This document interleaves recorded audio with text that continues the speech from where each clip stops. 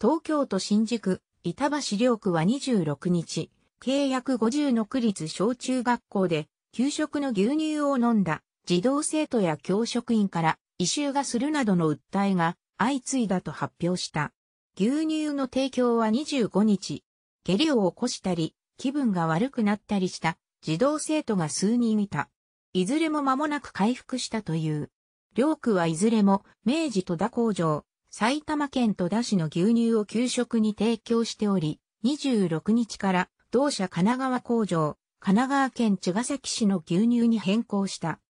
明治と各区保健所で原因を調べている。聞き取りの結果、新宿区では29校の約1300人、板橋区は24校の約630人が、いつもの味と違う、普段と違う匂いがするなどと訴えた。